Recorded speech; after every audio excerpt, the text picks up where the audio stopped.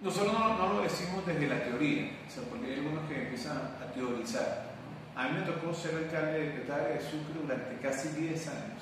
En esos 10 años nosotros bajamos a la mitad de homicidios. Es decir, el día uno que llegamos al día último que nos fuimos, bajamos a la mitad. Eso no había pasado en, en casi ninguna parte de América Latina, solamente en Medellín en la época dura de los 80.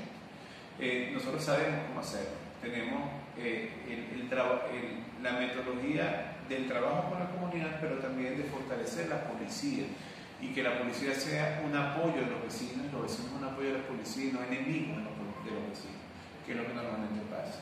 Nosotros logramos implementar planes como puntos calientes, rutas seguras, eh, el, el, apoyo con los vigilantes de las comunidades, los vigilantes privados, el trabajo conjunto policía.